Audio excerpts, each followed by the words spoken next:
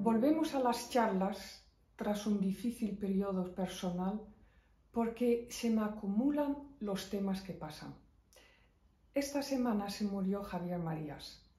Veo que ante su muerte, y antes pasaba con Almudena Grandes, por ejemplo, que mucha gente ofrece sus alabanzas en el altar de honor que todos le hemos levantado. Me pregunto qué piensas de esta situación y lo que crees que Marías hubiera pensado. Demasiados buscan elevar su estatus intelectual apoyándose en él. ¿O me equivoco? No, creo que tienes toda la razón y que es un tema muy importante y muy bueno para abrir estas charlas otra vez. Mm, eh, la muerte de Javier Marías nos ha cogido a todos eh, por sorpresa, eh, sobre todo porque tenía 70 años, es decir, estaba en una etapa de la vida en la de consolidación y mm, de reflexión.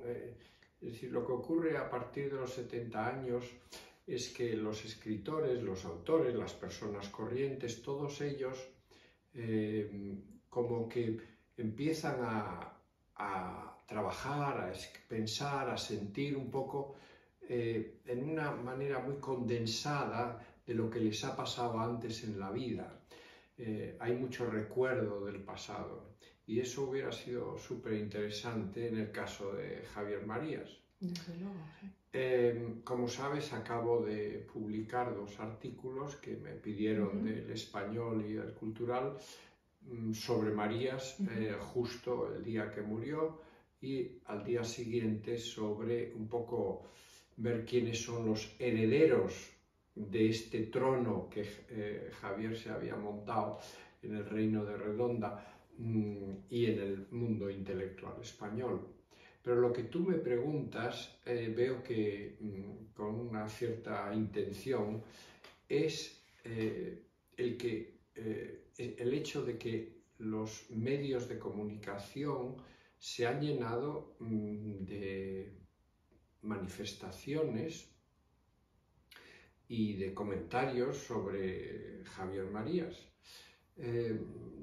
y algunos mm, realmente tienes la impresión de lo que buscan es eh, algo que es especialmente humano, eh, que es el deseo de estatus. Y esto naturalmente me recuerda siempre mucho eh, uno de los fundadores de, de este tema literario, es Galdós, cuando naturalmente Galdós y Clarín, en fin, todos nuestros grandes escritores del 19 escribieron del estatus. Galdós escribió la maravillosa novela La de Bringas, ¿no? de esta Rosalía Bringas, que es uno de sus mejores personajes, que busca eh, alcanzar este estatus social. Entonces, mm, esto es muy importante porque en el caso de María yo quisiera mm, hacer eh, algunas observaciones, ¿no? Eh, que ya he hecho en, los artículos, pero que ahora quisiera comentar contigo.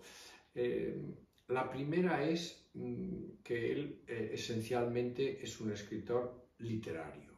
Es decir, mm, a él mm, no le interesaba reflejar la realidad en sus novelas, sino más bien una realidad literaria. Es decir, en ese sentido, él era muy kantiano, valoraba los conocimientos que se pueden deducir de la literatura. Sí. No tanto los que uno eh, trae de, la vida social.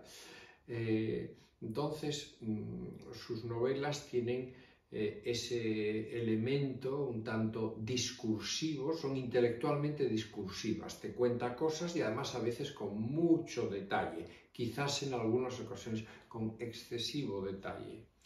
Luego, mm, eh, la otra faceta suya que es muy importante y que no debemos olvidar es la faceta de periodista, lo que él iba publicando. Bueno, de periodista y de crítico literario, eh, pero la de periodista, eh, todos creo los que, leemos El País, que compramos El País los domingos, lo hacíamos por, en, gran parte por leer eh, su artículo en el País Semanal, al final, donde tocaba temas del día.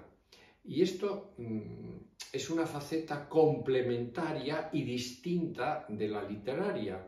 Y esto es muy importante señalarlo, porque yo creo que ahí él, mm, eh, sus, sus columnas son socráticas. Es decir, él trata de, en, estas como del país semanal, siempre trata temas muy del día.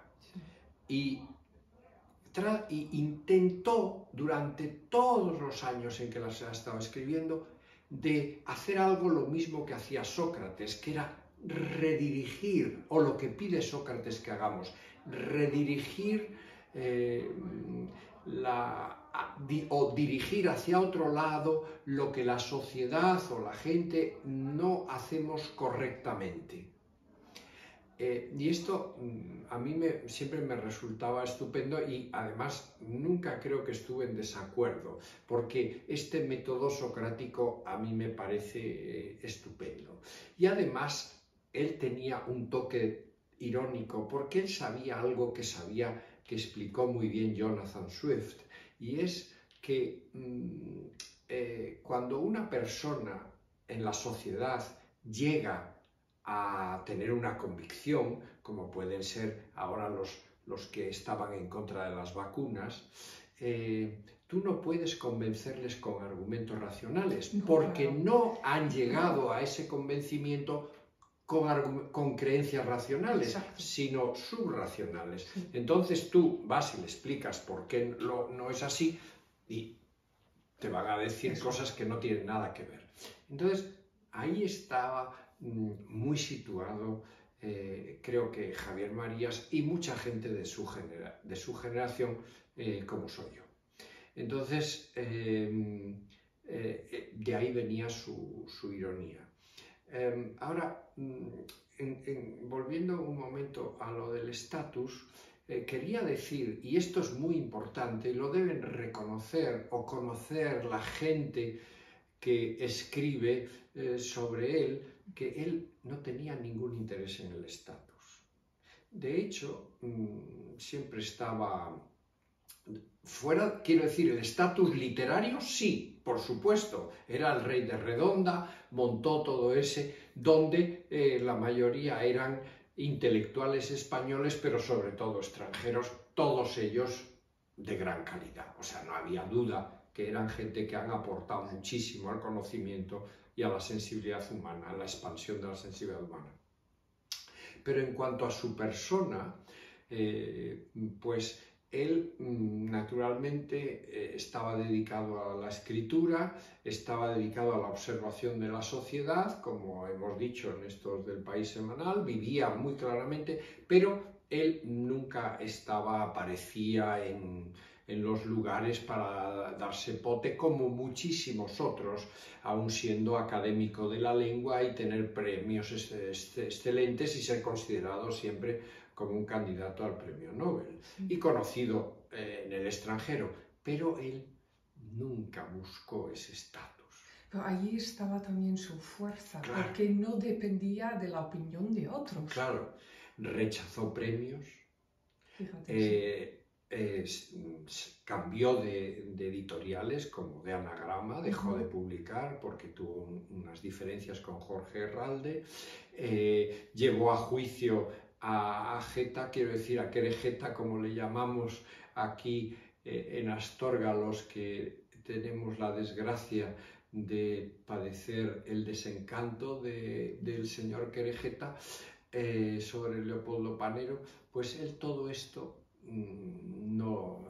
Y les ganó el, por cierto, porque no le gustó cómo habían hecho su película. Entonces, todo esto mm, hay que tenerlo muy en cuenta de que él en sí mismo era una persona sumamente normal, que vivía eh, por un lado el mundo literario y por otro, como vivimos muchos que intentamos entender nuestra sociedad, que es conocer la historia, la política, los modos de vivir de la gente, etcétera, lo que conforma en realidad eh, el mundo literario, el mundo intelectual en el que nos movemos. Y en eso yo creo que hay que respetar los que buscan el estatus que él precisamente ese no era su intención. Muy bien, muy bien. Lo vamos a echar de menos desde luego. Muchas gracias, Germán.